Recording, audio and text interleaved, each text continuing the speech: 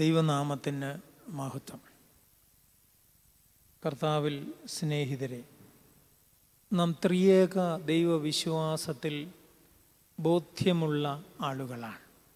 ത്രിയേക ദൈവവിശ്വാസം എന്ന് നമ്മൾ പറയുമ്പോൾ സൃഷ്ടിച്ച് പരിപാലിക്കുന്ന നാം ഉൾപ്പെടെയുള്ള എല്ലാത്തിന്റെയും നിയന്താവ് ദൈവം എന്നുള്ള ബോധ്യവും നാം പ്രകൃതി ഉൾപ്പെടെ നാം സഹോദരങ്ങൾ എന്ന ബോധ്യവും ഭരിക്കുന്നവരാകണം.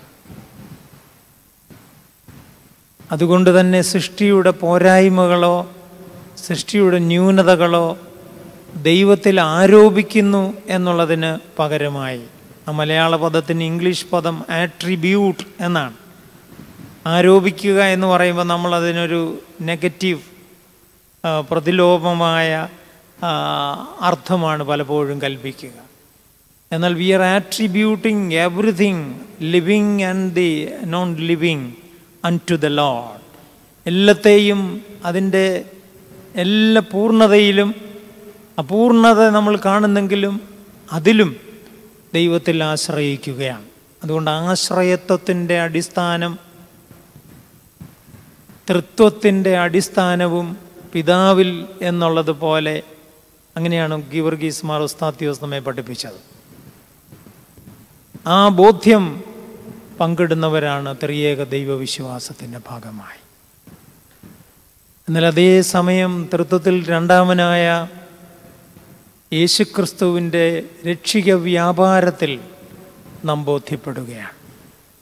അവിടുത്തെ ജനനവും അവിടുത്തെ ഇഹലോക പ്രവർത്തനവും വ്യാപാരങ്ങളും കഷ്ടാനുഭവവും എല്ലാ അനുഭവങ്ങളും അതിൽ സൗഖ്യമാക്കുന്ന കാര്യം മാത്രമല്ല. അവിടുത്തെ തർജനങ്ങൾ ശാസനകൾ അത് മാത്രമല്ല.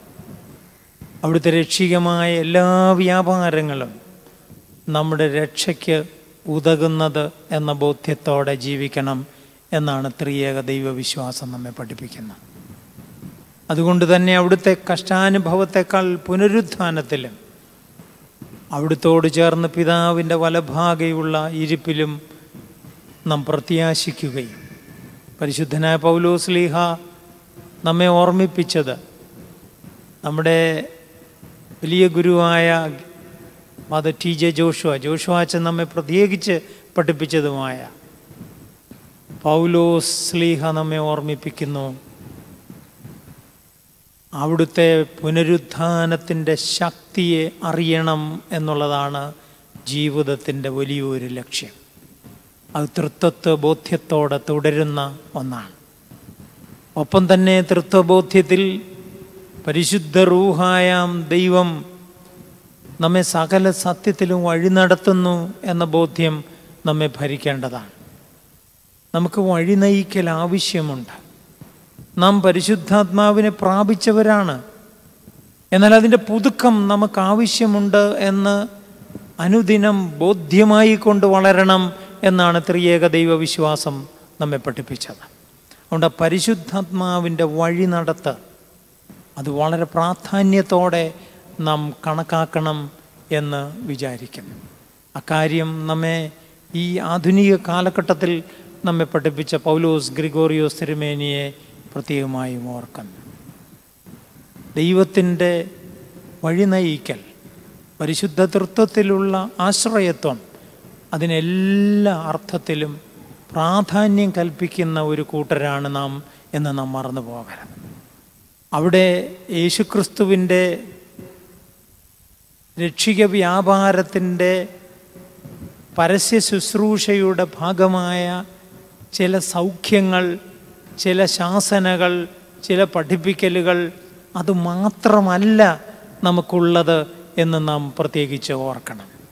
അതിനപ്പുറത്ത് വലിയ രഹസ്യങ്ങൾ നമുക്ക് പങ്കിടുവാനുണ്ട്. ആ രഹസ്യങ്ങളിലേക്കുള്ള ഒരു ഒരു അനുയാത്രയാണ് നമുക്ക് വേണ്ടിയിരിക്കുന്നത് എന്ന് നാം ഓർക്കണം. കാര്യം നമ്മെ തന്റെ പ്രത്യേക പഠിപ്പിക്കലുകളിലൂടെ ഒക്കെ ഓർമ്മിപ്പിച്ച വലിയ പിതാക്കന്മാർ നമുക്കുണ്ടായിട്ടുണ്ട്. അവരുടെ ഗ്രന്ഥങ്ങളും വാക്കുകളും നമുക്ക് പ്രചോദനമായി ഭവിക്കേണ്ടതാണ്. അതിക്കാലഘട്ടത്തിൽ നമ്മെ പഠിപ്പിച്ചവരാണ് സെമിനാരിയുടെ പ്രിൻസിപ്പൽമാരായിരുന്ന ഡോക്ടർ കെ എം ജോർജ് അച്ഛനും ജേക്കബ് കുര്യൻ അച്ഛനും. അവരെയും ഞാൻ സ്മരിക്കുന്നു.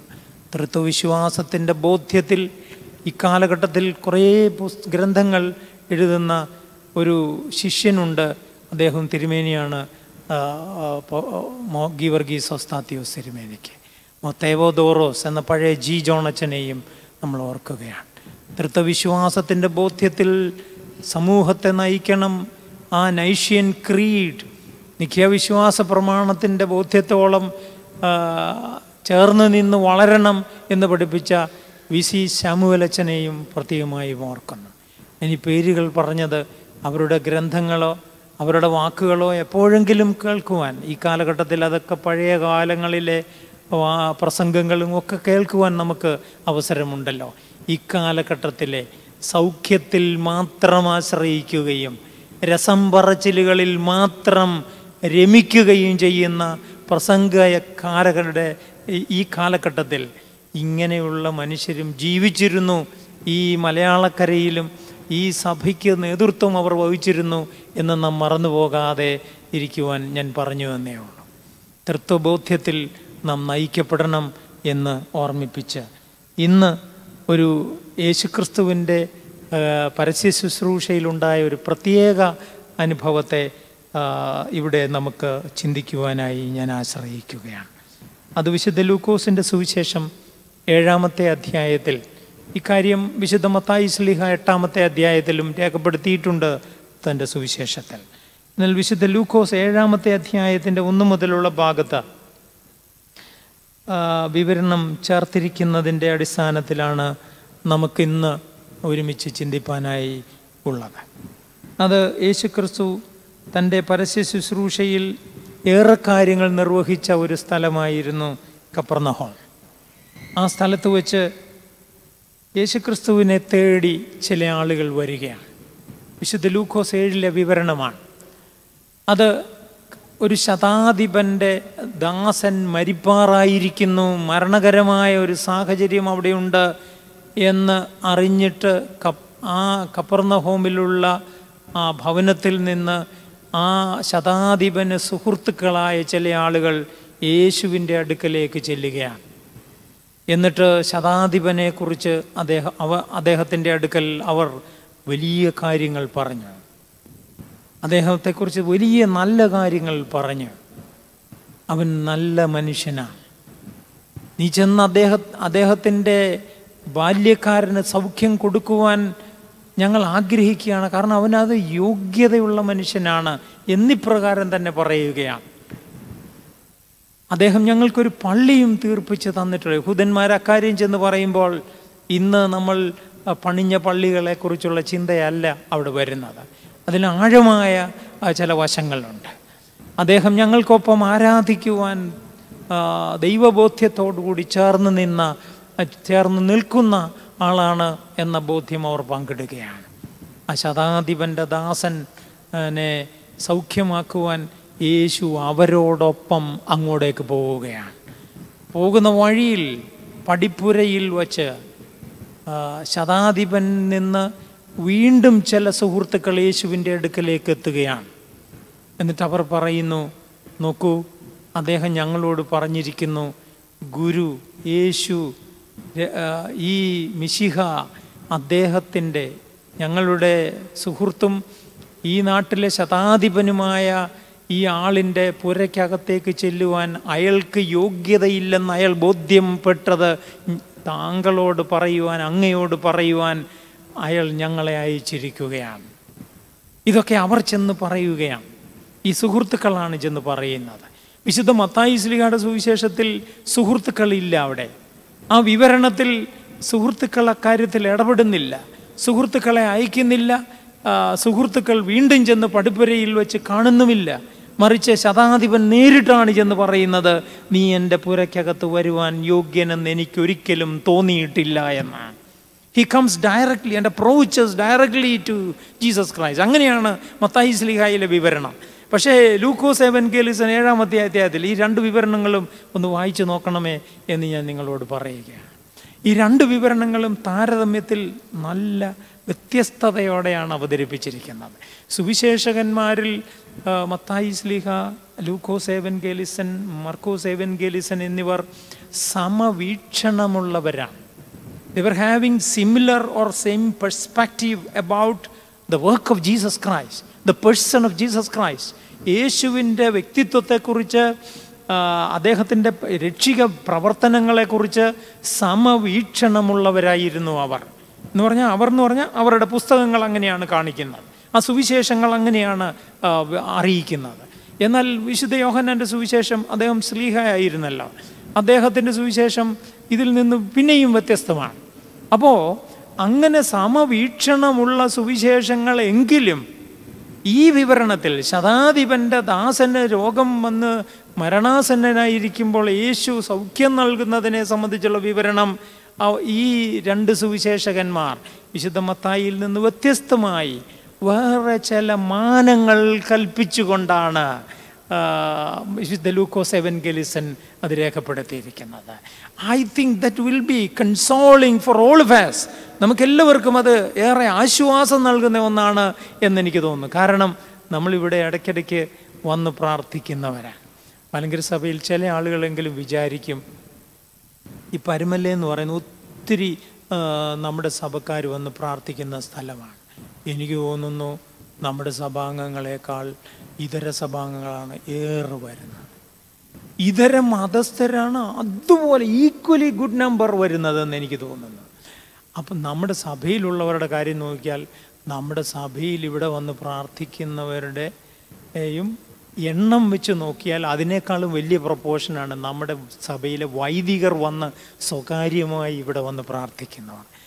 ഞാനിന്ന് കുറച്ച് മുന്നേ വന്നിട്ട് അകത്ത് കയറി ചെല്ലുമ്പോൾ അവിടെ ഈ ത്രോണോസിന്റെ മുമ്പിൽ സാഷ്ടാംഗം പ്രണമിച്ച് അച്ഛന്മാരവിടെ പ്രാർത്ഥിക്കുന്നുണ്ട്. ഞാൻ പറഞ്ഞത് അനേകർ വന്ന് പ്രാർത്ഥിക്കുന്ന ഒരിടമാണ്. ഇവിടെ വന്ന് നമ്മൾ പ്രാർത്ഥിക്കുമ്പോൾ ആദ്യം പള്ളിയിൽ വരണം. പിന്നെ മാത്രമേ നമ്മൾ കട്ടിൽ ഉള്ളിടത്തോ അല്ലെങ്കിൽ കബറിടത്തോ പോയി പ്രാർത്ഥിക്കാവൂ എന്ന് ഇക്കാലഘട്ടത്തിൽ അത് തർജനമായി നമ്മെ ബോധ്യപ്പെടുത്തി പറയുന്ന ഏലിയ തിരുമേനി ഉണ്ടെന്ന് ഞാൻ മറക്കുന്നില്ല. അപ്പോൾ അത് വളരെ കൃത്യമാണ് അദ്ദേഹം പറയുന്ന കാര്യം. അത് നമ്മൾ പാലിക്കണം. അപ്പോൾ നമ്മൾ ഈ സ്ഥലത്ത് വന്ന് പ്രാർത്ഥിക്കുന്ന നമ്മൾ ഈ ഭാഗം വായിക്കുമ്പോൾ അതിന് കുറച്ചുകൂടെ ഒരു നമ്മൾ നമ്മളുടെ മനസ്സിനോട് നമ്മുടെ ഇഷ്ടത്തോട് നമ്മുടെ സ്വകാര്യ ഭക്തി അനുഭവത്തോട് in that is attach to our personal piety to a great extent എന്ന് എനിക്ക് തോന്നുകയാണ്. അതുകൊണ്ട് ഈ ഭാഗത്ത് ചില ആളുകൾ യേശുവിന് യേശുവിന്റെ അടുക്കലേക്ക് വന്ന് തങ്ങൾക്ക് പ്രിയനായ ഒരുവന്റെ ദാസന്റെ പ്രയാസത്തെക്കുറിച്ച് വന്ന് പറയുകയാണ്. ആ ദാസന്റെ പ്രയാസം സെഞ്ചൂറിയന്റെ ശതാധിപന്റെ വലിയ പ്രയാസമാണ്. അതാണ് അവർ വന്ന് പറയുന്നത്.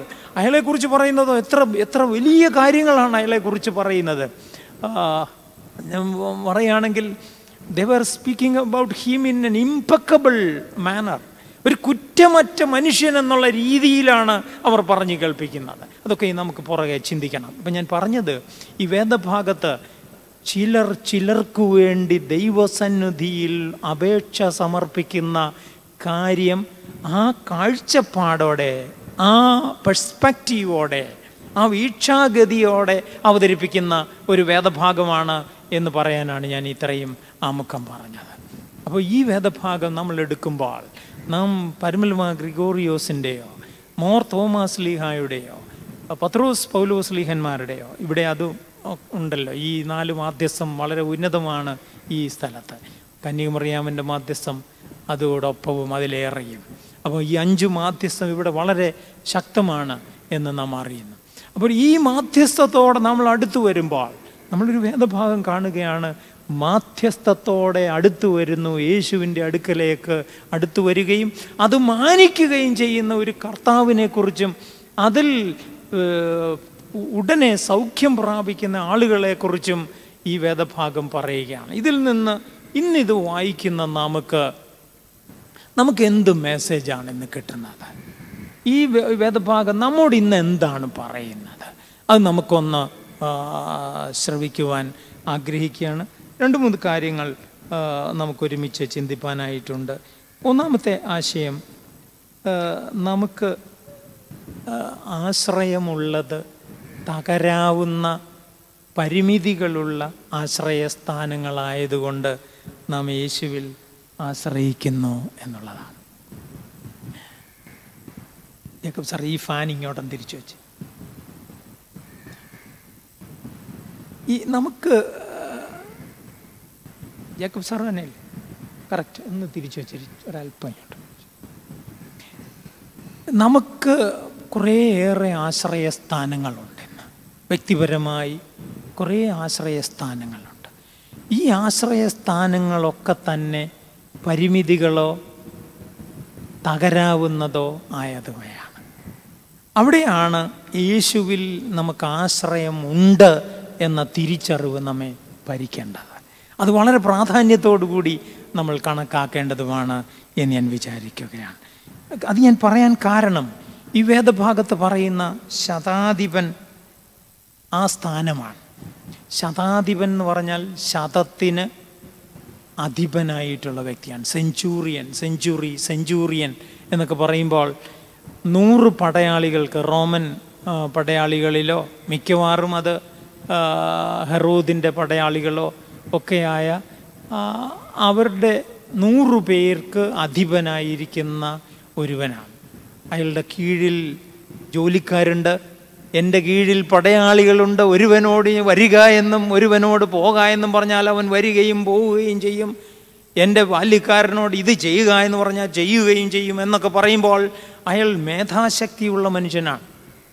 അദ്ദേഹത്തിന് വ്യക്തിപരമായി ചില ശക്തിയും ബലവും അധികാരവും ഒക്കെ ഉള്ളയാളാണ് അങ്ങനെയുള്ള ആളാണ് ഈ ഈ ശതാധിപൻ എന്ന് നാം പരിഗണിക്കുമ്പോൾ നമ്മളൊന്ന് കണക്ക് കൂട്ടുകയും നമുക്ക് എന്തെല്ലാം കാര്യങ്ങളിൽ നമ്മൾ അഭിമാനിക്കുകയും മേധാശക്തി ഉപയോഗിക്കുകയും ചെയ്യുന്ന ആളുകളാണ്. എന്തെല്ലാം കാര്യത്തിൽ? പക്ഷെ ഇതെല്ലാം പരിമിതികളുള്ളതാണ്. അധികാരം ശക്തികൾ സ്ഥാനങ്ങൾ മാനങ്ങൾ അത് ഈ കുപ്പായത്തിന്റെ ബലത്തിൽ ഞാനിവിടെ കയറി നിൽക്കുന്നത് ഉൾപ്പെടെ എല്ലാം പരിമിതികളുള്ളതാണ് എന്ന് നാം തിരിച്ചറിയണം. എന്നാൽ ഈ പരിമിതികളുള്ള നമ്മുടെ ഈ സ്ഥാനങ്ങളെ നമ്മൾ അപരിമിതമെന്ന് വിചാരിച്ച് അങ്ങനെയാണ് മുന്നോട്ട് കൊണ്ടുപോയിക്കൊണ്ടിരിക്കുന്നത്. അപരിമിതമെന്ന് വിചാരിച്ചാണ് നമ്മൾ മുന്നോട്ട് പോയിക്കൊണ്ടിരിക്കുന്നത്. ഞാൻ ഇന്ന് രാവിലെ ഈ വേദഭാഗവും പ്രസംഗവും ഒക്കെ നോക്കി ഒന്ന് ശരിയാക്കി. ഈ ഡയറിയിൽ അതൊന്ന് എഴുതി വെക്കുന്ന സമയത്ത് ഞാൻ ടി വിയിലെ ന്യൂസ് എന്ന് വെച്ചു. അത് മുഴുവൻ പരസ്യമാണ് പരസ്യത്തിന്റെ പ്രധാനപ്പെട്ട എനിക്ക് ഞാൻ പിന്നെ പെട്ടെന്ന് ഓഫ് ചെയ്യേണ്ടി വന്നു. കാരണം അത് രണ്ട് മിനിറ്റ് മൂന്ന് മിനിറ്റോളം ശ്രമിച്ചിട്ടും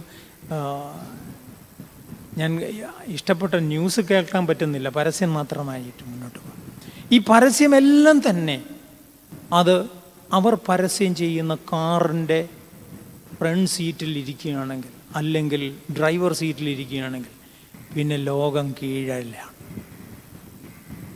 പല നിങ്ങൾക്കെല്ലാം മുന്നിൽ സാധ്യതകളാണ്. പിന്നിൽ ലോകവുമാണ്. ഇതാണ് പരസ്യം പറയുന്നത്.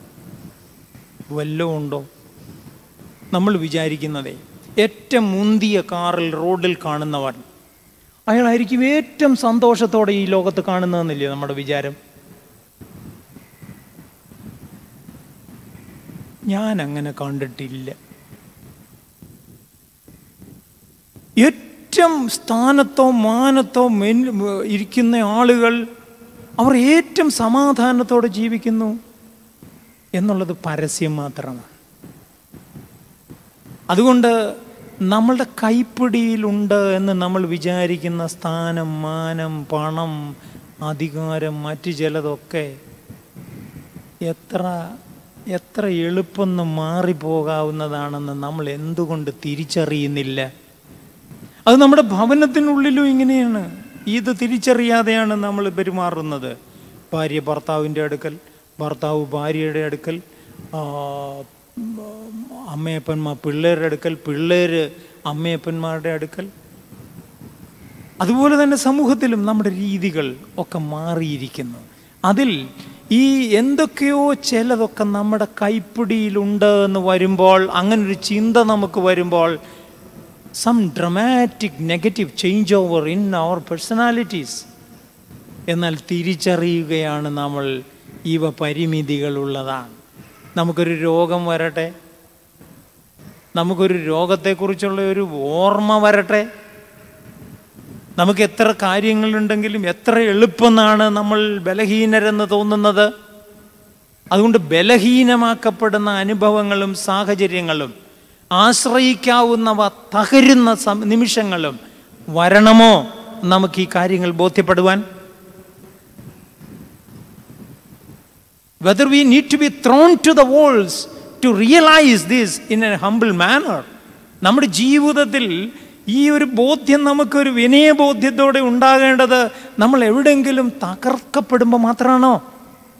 അതുകൊണ്ട് ജീവിതത്തിൽ നമുക്ക് ആശ്രയിക്കുവാൻ ദൈവത്തിൽ അത് വേണം എന്നുള്ള ബോധ്യം നമ്മെ ഭരിക്കേണ്ടത് ആവശ്യമാണ്. സെന്റ് ഗ്രിഗോറിയോസിന്റെ ജീവിതം നമ്മെ പഠിപ്പിക്കുന്നത് ഏറെ അതാണ്. അദ്ദേഹത്തിന്റെ ജീവിതത്തെ ഓർമ്മിപ്പിച്ച് ഞാൻ ആമുഖത്തിൽ പറഞ്ഞ പൗലോസ് ഗ്രിഗോറിയോസ് സിരിമേനി തന്റെ സ്വന്തം ജീവിതത്തിലെ ഒരു കാര്യം പറയുന്നുണ്ട്. അദ്ദേഹത്തിന്റെ ആത്മകഥയിൽ അദ്ദേഹം അത് എഴുതിയിട്ടുണ്ട്. അദ്ദേഹം വളരെ നല്ല വലിയ കഴിവുള്ളയാളായിരുന്നു. വലിയ കഴിവുള്ളയാൾ വലിയ മേധാശക്തിയുള്ള ആൾ അറിവിന്റെ പാരമ്യം കാണുവാൻ കഴിവുള്ള ഒരാളായിരുന്നു. ഏറെ വായിക്കുകയും ഏറെ എഴുതുകയും ഏറെ പല കാര്യങ്ങൾക്കും വിപുലമായ അറിവ് വ്യാപകമായ അറിവ് ആഴത്തിലുള്ള അറിവ് അദ്ദേഹത്തിനുള്ള ആളായ. അദ്ദേഹം മ്യൂണിക്കിലേക്കുള്ള യാത്രയിൽ അദ്ദേഹത്തിന് പക്ഷാഘാതം സംഭവിച്ചു. എന്നിട്ട് അന്ന് ടൈപ്പ് റൈറ്ററാണുള്ളത് കമ്പ്യൂട്ടർ മറ്റും ഇല്ലല്ലോ ടൈപ്പ് റൈറ്ററാണ് അതിൽ അദ്ദേഹം ടൈപ്പ് ചെയ്യുന്നത് രണ്ട് കൈ കൊണ്ടായിരുന്നു. അദ്ദേഹത്തിന് പക്ഷാഘാതം വന്നപ്പോൾ ഒറ്റ കൈയിലായി കാര്യങ്ങൾ. എല്ലാം നിർവഹിക്കണം. അപ്പോൾ അങ്ങനെ ഒരു സാഹചര്യത്തിൽ അദ്ദേഹം എഴുതുകയാണ് our grip on personal life is so weak നമ്മുടെ വ്യക്തി ജീവിതത്തിന്റെ മേൽ നമുക്കുള്ള മേധാശക്തി എത്ര ബാലിശമാണത് എത്ര വീക്കാണത് എത്ര ക്ഷണഭങ്കുരമാണത് എത്ര ക്ഷണികമാണ്. അതുകൊണ്ട് ഈ ബോധ്യം നമ്മെ ഭരിക്കണം. മോ ഗ്രിഗോറിയോസ് പരുമല കൊച്ചു തിരുമേനിയെക്കുറിച്ച് ഓർക്കുമ്പോഴും അദ്ദേഹത്തിന്റെ ജീവിതം നമുക്ക് നൽകുന്നത് ഇതാണ് എന്ന് നാം തിരിച്ചറിയണം. രണ്ടാമത്തെ കുരിന്ത ലേഖനം നാലാം അധ്യായത്തിൽ ഏഴാമത്തെ വാക്യം മുതൽ നമ്മൾ വായിക്കുന്നു ഈ അത്യന്ത ശക്തി ഞങ്ങളെ ശുശ്രൂഷയ്ക്ക് വിളിച്ചിരിക്കുകയാണ്. ശുശ്രൂഷയ്ക്കുള്ള സുവിശേഷത്തിന്റെ ശുശ്രൂഷയ്ക്കുള്ള വീളി ഞങ്ങൾക്കുണ്ട്. അത് ഞങ്ങളെ പ്രാപ്തി നൽകുന്നു ബലം നൽകുന്നു. അത് ഞങ്ങൾക്ക് വിപുലമായ അനുഭവങ്ങൾ നൽകുന്നു. എങ്കിലും ഈ അത്യന്ത ശക്തി ഞങ്ങളുടെ സ്വന്തമെന്നല്ല. ദൈവത്തിന്റെ ദാനമത്രേ എന്ന് വരേണ്ടതിന് ഇത് ഞങ്ങൾക്ക് മൺപാത്രങ്ങളിലാകുന്നു ഉണ്ടാകുന്നത്. മൺപാത്രത്തിലെ നിക്ഷേപമെന്ന ഒരു യൂസേജ് തന്നെ ഒരു ഭാഷാപ്രയോഗം തന്നെയുണ്ട്. നമ്മളുടെ എല്ലാ ശക്തികളും ബലങ്ങളും ഈ പൊട്ടിപ്പോകുന്ന മൺപാത്രത്തിലുള്ളതാണ് എന്ന് നാം തിരിച്ചറിയണം. അതൊരു കളിമൺ പാത്രത്തിന്റെ കാര്യമല്ല. അത് നമ്മുടെ പൊട്ടിപ്പോകാവുന്ന ഈ ശരീരമെന്ന ഈ പാത്രത്തിന്റെ കാര്യമാണ് ഓർമ്മിപ്പിക്കുന്നത് എന്ന് നാം മനസ്സിലാക്കുന്നു. അതുകൊണ്ട് ഇവയിൽ ആശ്രയിക്കുമ്പോൾ ധനത്തിലോ മാനത്തിലോ കഴിവിലോ പ്രാപ്തിയിലോ എന്നുള്ളതിനേക്കാൾ ദൈവത്തിൽ ആശ്രയിക്കുവാനുള്ള ഒരു പ്രേരണ വിനയപൂർവമായി പ്രാപിക്കേണ്ടത് ആവശ്യമുണ്ട് എന്ന് നമ്മെ പഠിപ്പിക്കുന്നു. അതുകൊണ്ടാണ് വിശുദ്ധ യോഹന്നാൻ സ്ലീഹ രേഖപ്പെടുത്തിയിരിക്കുന്ന പതിനാറാം അധ്യായം അവസാന വാക്യത്തിൽ മുപ്പത്തി മൂന്നാമത്തെ വാക്യത്തിലാണ്. ലോകത്തിൽ നിങ്ങൾക്ക് കഷ്ടമുണ്ടെങ്കിലും ധൈര്യപ്പെടുവീൻ. ഞാൻ ലോകത്തെ. അത് യേശുക്രിസ്തുവിന്റെ ജീവിതാനുഭവത്തെ ആ ആകത്തുകയിൽ കണ്ടിട്ട് യോഹന്നാൻ യേശുവിന്റെ വാക്കായി ചേർത്തിരിക്കുന്നതാണെന്ന് നാം മനസ്സിലാക്കണം. അതുകൊണ്ട് അതിലൊരു പ്രാപ്തിയുണ്ട് എന്ന് നാം തിരിച്ചറിയണം.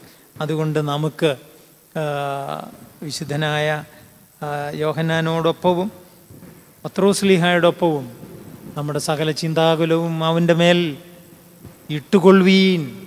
അതിന്റെ ഇംഗ്ലീഷ് രസകരമാണ് അർത്ഥവത്താണ്. അതിന്റെ ഒറിജിനൽ ലാംഗ്വേജും അർത്ഥവത്താണ്.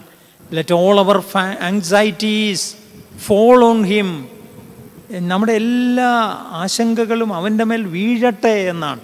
നമ്മൾ ആശങ്കകളും പ്രയാസങ്ങളും ഫലവും ഭയവും ഒക്കെ ഉള്ളപ്പോൾ നമുക്കവ എവിടെ വെക്കണമെന്ന് അറിയാത്ത സാഹചര്യം ഉണ്ടാവും. എവിടെ വെക്കണമെന്ന് ബോധ്യമില്ലാത്ത സാഹചര്യം ഉണ്ടാവും. എവിടെ വെക്കും അന്ന് പ്രത്യാശയില്ലാത്ത നിമിഷങ്ങളുണ്ടാകും അവിടെയാണ് പറയുന്നത് നമ്മൾ വെച്ചില്ലേലും അത് വീണ വീണു പോക്കോട്ടെ എങ്ങോട്ട് let all anxieties fall on Jesus Christ the stone നമ്മുടെ ചിന്താകുലം ദൈവത്തിങ്കൽ യേശു ക്രിസ്തുവിൽ വീഴട്ടെ എന്നാണ് പറയുന്നത്. അതുകൊണ്ട് നമുക്ക് ഈ ആശ്രയമുണ്ട് എന്ന് വിചാരിക്കുന്നവയിൽ നിലനിൽക്കുമെന്ന് വിചാരിക്കുന്നവയിൽ നമ്മൾ ആശ്രയം വെച്ചുകൊണ്ട് മുന്നോട്ട് പോകുന്നതിൽ അർത്ഥമില്ലെന്ന തിരിച്ചറിവ് ഈ വേദഭാഗം നമുക്ക് നൽകുകയാണ്. വിശുദ്ധ ലൂക്കോസ് ഏഴാം അധ്യായം അതിന്റെ ആദ്യ ഭാഗം നമ്മൾ പരിശോധിക്കുമ്പോൾ ഈ സെഞ്ചൂറിയൻ യേശുവിന്റെ അടുക്കൽ വന്ന് പറയുന്ന കാര്യത്തിൽ നമുക്ക് ബോധ്യമാകുന്നത് ഈ വിവരണം നൽകുന്ന ഒന്നാം കാര്യമാണ്. നമ്മൾക്ക് ആശ്രയിക്കാവുന്നവ തകരുന്നവയാണ്. അതുകൊണ്ട് ദൈവത്തിങ്കൽ ആശ്രയിക്കാമെന്ന ബോധ്യം നമ്മെ ഭരിക്കണം. ഞാൻ ആ ആമുഖത്തിൽ ചില സഭയുടെ സ്ഥാനികളും പഠി പഠിപ്പിക്കുന്നവരും ഗുരുക്കന്മാരും ഒക്കെ ആയിരുന്ന് നമ്മെ പഠിപ്പിച്ച ചില ആളുകളെ ഉദ്ധരിച്ച് ഞാൻ വിശുദ്ധ തൃത്വത്തെ സംബന്ധിച്ച് ഒരു ഒന്ന് രണ്ട് കാര്യം പറഞ്ഞുവല്ലോ. ആ തൃത്വബോധ്യം നമ്മെ ഭരിക്കേണ്ടത് ഈ സൗഖ്യങ്ങളിലല്ല. അതിൽ ഉടക്കിക്കിടക്കുന്ന വിശ്വാസത്തിലല്ല. മറിച്ച് അതിന് ആഴമായി ദൈവത്തിലുള്ള ഒരു ആശ്രയത്വത്തിന്റെ ബോധ്യമാണ് എന്ന് നാം പഠിക്കേണ്ടതും ആവശ്യമാണ്. രണ്ടാമത് വിശുദ്ധ ലൂക്കോസ് ഏഴാമത്തെ അധ്യായം ആദ്യ ഭാഗം നമ്മെ പഠിപ്പിക്കുന്ന രണ്ടാമത്തെ കാര്യം. യേശു ആ ശതാധിപന്റെ അടുക്കൽ നിന്ന് വന്ന സുഹൃത്തുക്കൾ പറഞ്ഞ് കേട്ടിട്ട് അവരുടെ മാധ്യസ്ഥം കൈക്കൊണ്ട് അവർക്കൊപ്പം പോയി. പിന്നെയോ? അവർക്കൊപ്പം ചെല്ലുമ്പോൾ ആ വീടിന്റെ പടിപ്പുരയിലെത്തുമ്പോൾ അവർ വീണ്ടും വന്ന് പറയുകയാണ് ഇവിടെ നിന്ന് പറഞ്ഞാൽ മതി. അവിടെ നിന്ന് ഇവിടെ വെച്ച് കൽപ്പിച്ചാൽ മതി. I am not worthy enough എന്ന് അദ്ദേഹം പറഞ്ഞിരിക്കുന്നു. ഞങ്ങളെ അയച്ച ശതാധിപൻ പറഞ്ഞിരിക്കുന്നു അയാൾ അയാളുടെ വീട്ടിലേക്ക് അങ്ങ് ചെല്ലുവാൻ യോഗ്യനല്ല എന്ന് അയാൾക്ക് ബോധ്യമായിരിക്കുന്നു എന്ന് അത് കേട്ടിട്ട് അത് അംഗീകരിക്കുന്ന മാനിക്കുന്ന യേശുവിനെയാണ് ഈ വേദഭാഗം പറയുന്നത്. നമ്മൾ സുവിശേഷ ഭാഗങ്ങൾ വായിക്കുമ്പോൾ നമുക്ക് ചില ബോധ്യങ്ങൾ ആദിമസഭയുടെ വിശ്വാസത്തിന്റെ ചില തലങ്ങൾ ഉറയ്ക്കുന്ന ചില കാര്യങ്ങൾ നമുക്ക് മനസ്സിലാക്കിച്ച് തരുന്നുണ്ട്.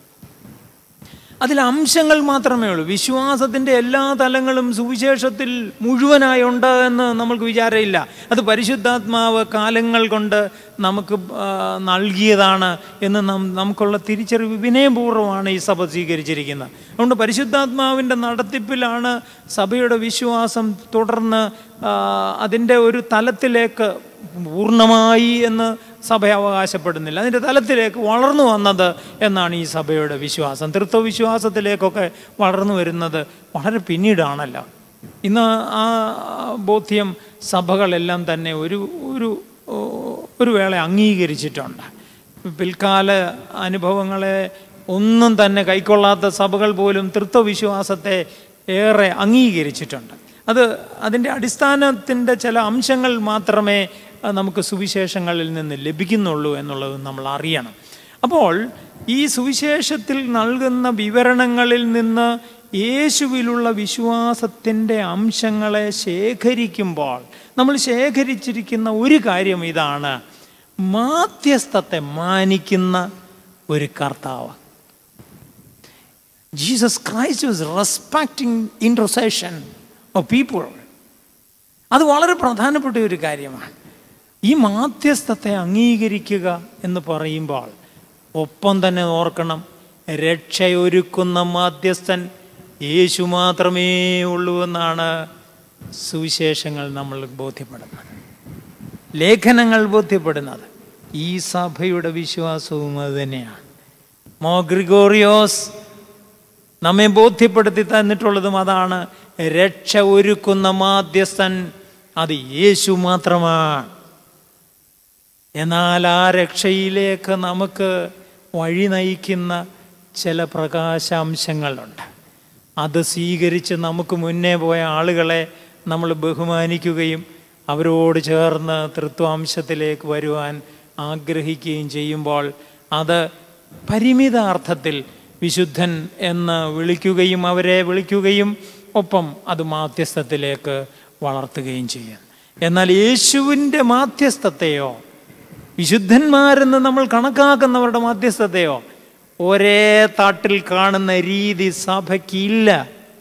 അത് തള്ളിക്കളഞ്ഞിട്ടിരിക്കുന്നു എന്നുള്ളത് നമ്മൾ ഓർത്തിരിക്കണം. അതുകൊണ്ട് ഈ സഭയുടെ ബോധ്യം ഇങ്ങനെയാണ് മാധ്യസ്ഥം മാനിക്കുന്ന ഒരു കർത്താവുണ്ട്. അതുകൊണ്ട് യേശു അവരോടൊപ്പം പോവുകയാണ്.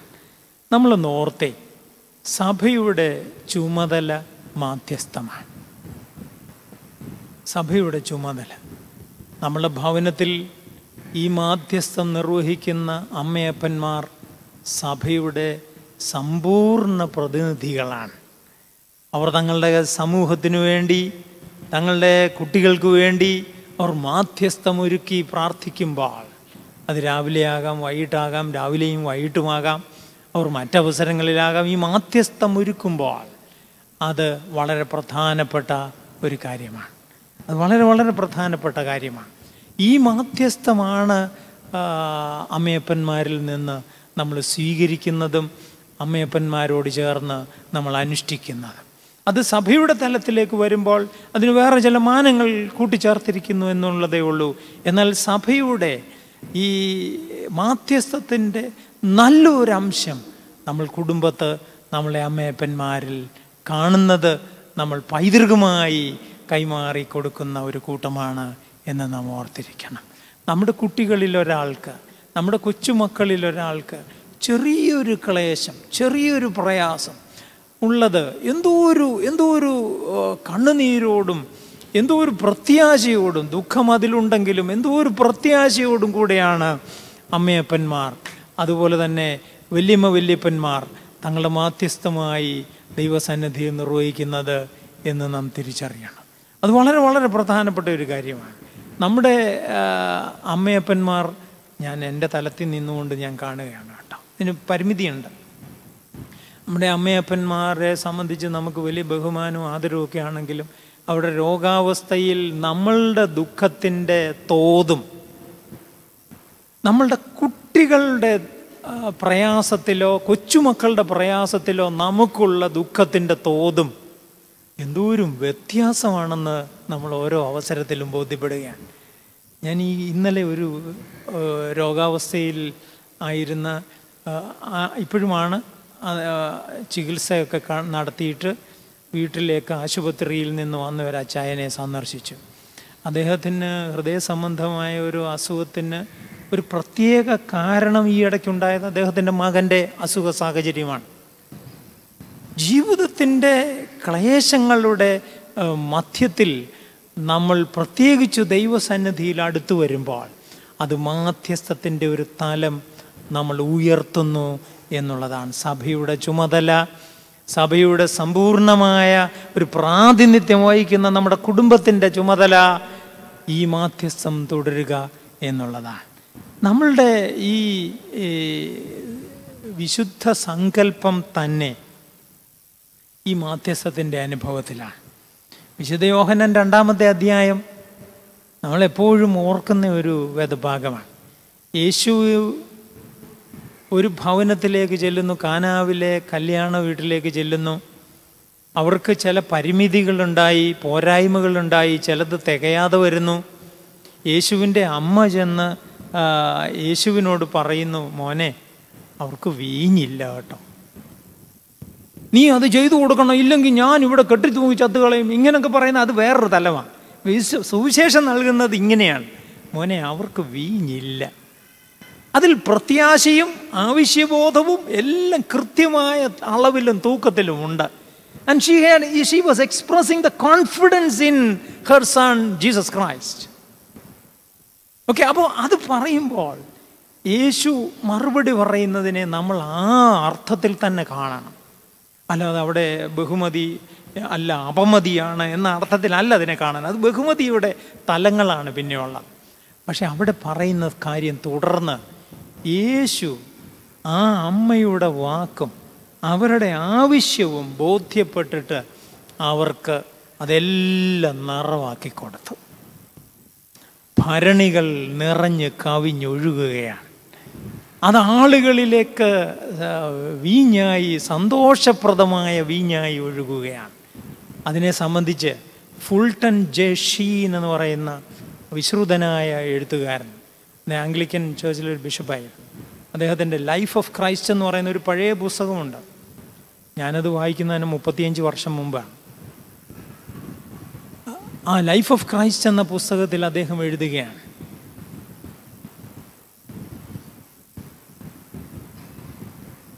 ഓർമ്മയിലാണ്. Sorry the human nature of Jesus Christ was reluctant to take on the burden at Cana കാനാവിലെ അത്ഭുതത്തിൽ കാണുന്നത് കാനാവിലെ വീട്ടിലെ ആ പരിമിതിയിൽ പ്രവർത്തിക്കുവാനുള്ള വൈമുഖ്യം യേശു തന്റെ മനുഷ്യത്വത്തിന്റെ സ്വഭാവമായി കാണിച്ചിരിക്കുന്നു എന്നാണ്. പക്ഷേ ആ മനുഷ്യത്വത്തിന്റെ പരിമിതികളെ ഉല്ലംഘിച്ച് പ്രവർത്തിക്കുവാനുള്ള പ്രചോദനം ആദ്യം എത്തുന്നതായി സുവിശേഷകൻ രേഖപ്പെടുത്തുന്നത് യേശുവിന്റെ അമ്മയുടെ വാക്കാണ്. അതൊരു മാധ്യസ്ഥത്തിന്റെ തലമാണ് മാധ്യസ്ഥത്തിന്റെ ബോധ്യമാണ്. And we inherit and we traditionally inherit and respect and follow that saintliness ആ ഇന്റർസെഷന്റെ അനുഭവം ആ മാധ്യസ്ഥത്തിന്റെ ബോധ്യം നമ്മൾ തുടരുവാൻ നമ്മൾ ഇഷ്ടപ്പെട്ടാണ് ഈ സഭ മുന്നോട്ട് പോകുന്നത്. എത്ര അർത്ഥവത്താണ് അതെന്ന് നാം കാണണം. അതുകൊണ്ട് ആ മാധ്യസ്ഥത്തിന്റെ തലമാണ്. അത് വളരെ വളരെ പ്രധാനപ്പെട്ടതാണ്. പൗലു മാർ ഗ്രിഗോറിയോസ് ഓഫ് പരിമല അതുപോലെ തന്നെ ഗീവർഗി സഹദ ഇവരുടെയൊക്കെ മാധ്യസ്ഥത്തെക്കുറിച്ചുള്ള സഭയുടെ ബോധ്യം മാധ്യസ്ഥം മാനിക്കുന്ന യേശു എന്ന ബോധ്യത്തിലാണ്.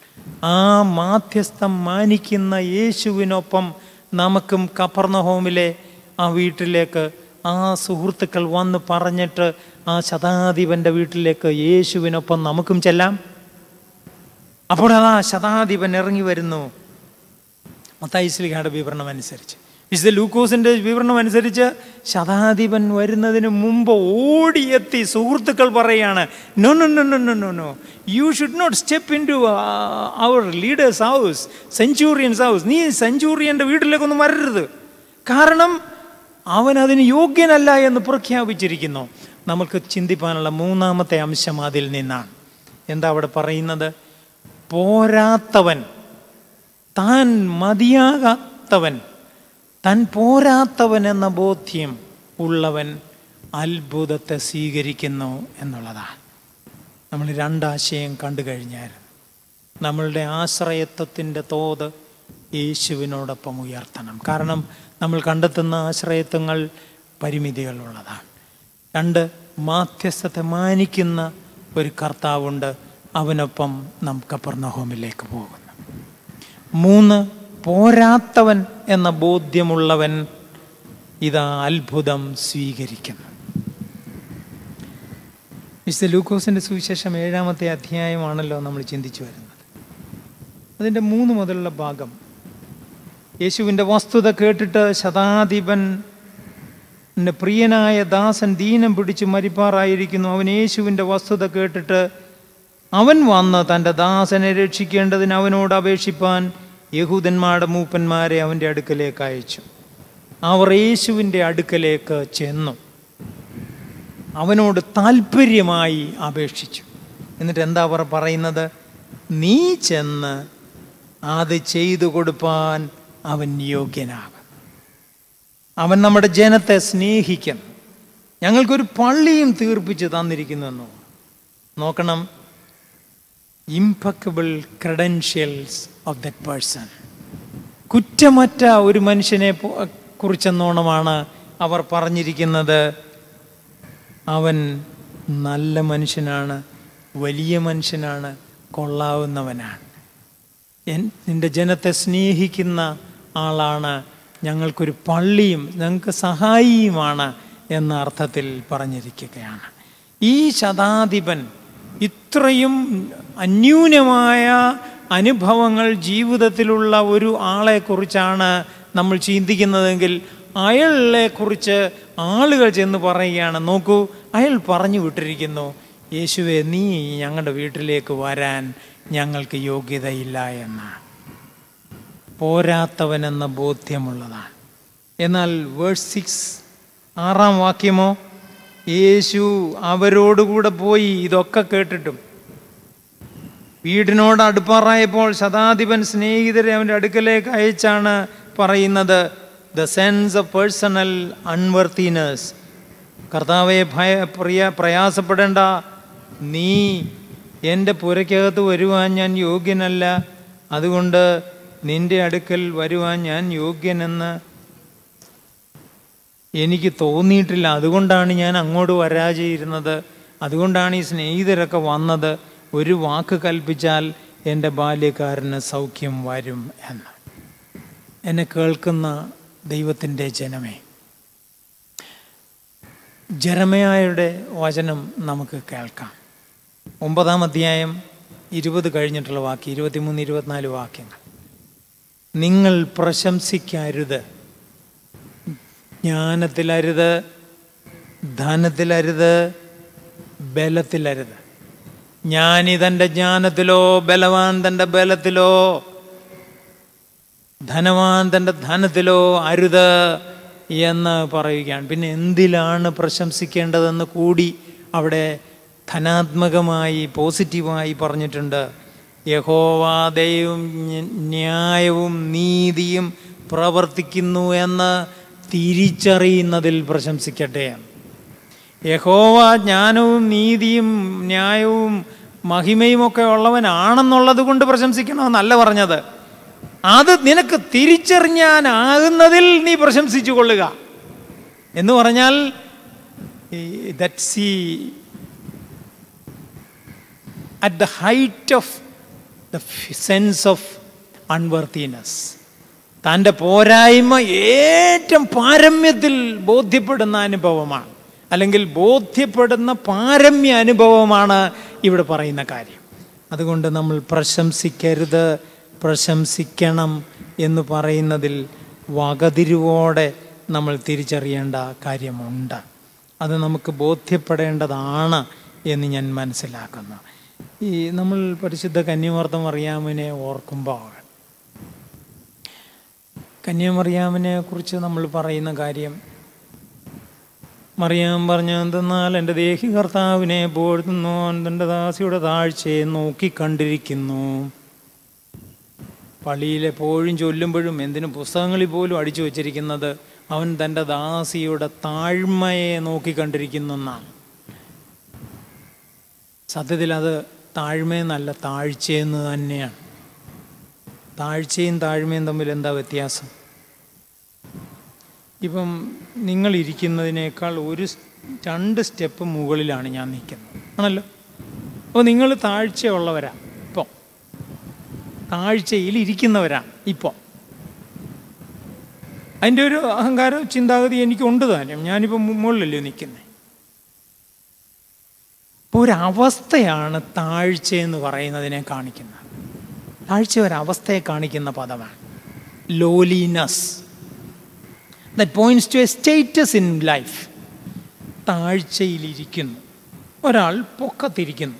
എന്നുള്ളതേ അർത്ഥമുള്ളൂ കരോട്ട വീടെന്നൊക്കെ ചില സ്ഥലങ്ങളിൽ പറയുമല്ലോ പൊക്കത്തിരിക്കുന്ന വീട് എന്നുള്ളത്. താഴത്തെ വീട്. അതിലെന്തെങ്കിലും അതൊരവസ്ഥയെ കാണിക്കുന്നെന്ന് മാത്രമേ ഉള്ളൂ. എന്നാൽ താഴ്മയോ താഴ്മയെന്ന് പറയുന്നത് ഒരു ഗുണത്തെ കാണിക്കുന്നതാണ് one is about status and the other thing about the other one about quality ഇത് രണ്ടും വ്യത്യാസമാണ്. അതുകൊണ്ട് പുസ്തകത്തിലും നമ്മൾ വായനയിലും വേദഭാഗത്ത് നിന്ന് ബോധ്യപ്പെടുന്നത് അവൻ തന്റെ ദാസിയുടെ താഴ്ചയെ കടാക്ഷിച്ചിരിക്കുന്നു. കടാക്ഷിക്കുക എന്ന് പറഞ്ഞാൽ കണ്ടിരിക്കുന്നു നോക്കിക്കണ്ടിരിക്കുന്നു. അപ്പോൾ മറിയാം പറയുകയാണ് ബോധ്യപ്പെട്ട് പറയുകയാണ്. നോക്ക് ദൈവം ഇവളുടെ താഴ്ച കണ്ടിട്ട് കടാക്ഷിച്ചിരിക്കുന്നു. അല്ലാതെ എന്റെ ഗുണം കണ്ടിട്ട് എന്നെ ബഹുമാനിച്ചിരിക്കുന്നു. No no. മറിച്ച് എന്റെ അവസ്ഥ ലൂലിനസ് കണ്ടിട്ട് എന്നെ ബഹുമാനിച്ചിരിക്കുന്നു എന്നെ സ്നേഹിച്ചിരിക്കുന്നു. അതങ്ങനെ തന്നെ നമുക്ക് തോന്നണം. അതുകൊണ്ട് മറിയമിന്റെ ജീവിതം നമുക്ക് തരുന്ന പാഠം അത് തന്നെയാണ്. അതുകൊണ്ടാണ് പത്രോസ് ലീഹ ചേർത്തിരിക്കുന്നത് ഒന്ന് പത്രോസ് അഞ്ചാമത്തെ അധ്യായത്തിൽ അഞ്ച് മുതൽ ഏഴ് വരെ എങ്ങനെയാണ്?